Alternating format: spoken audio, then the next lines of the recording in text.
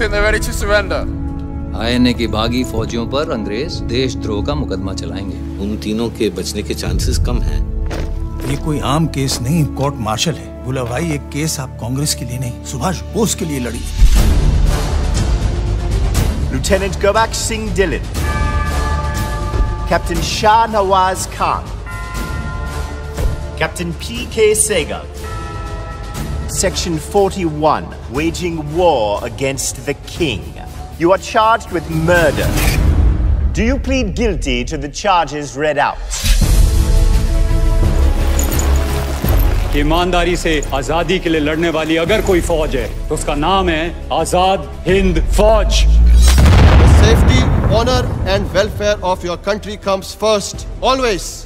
British Indian Army hand you over to the Japanese Imperial Army. Hindustan और अंग्रेज़ों के बीच एक धागा था वो टूट गया। इस बार कुछ ऊपर नीचे हुआ तो देश में बवाल मच जाए अब जनता किसी अंग्रेज़ को नहीं छोड़ेगी। रात दिन अपने सीने विच वजदी आज़ादी दे राग नु बंद कर ला। अंग्रेज़ी अफसरों ने साड़ी हिफाजत नहीं की। तो वो हमारी वफादारी के हकदार किस तरह हो सकते हैं?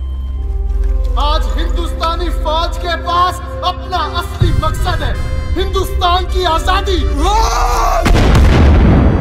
तुम मुझे खून दो मैं तुम्हें आज़ादी दूँगा।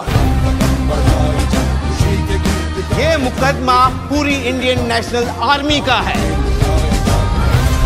क्योंकि हमने वो दिन देखा है जब हमें ऐसा लगा था कि हमने हिंदुस्तान को वाकई आज़ाद कर दिया।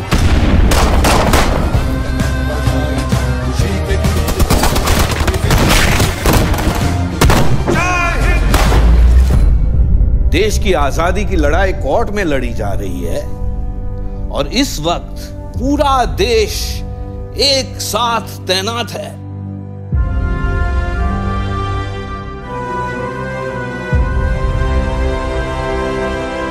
This trial and its judgment shall be remembered throughout history.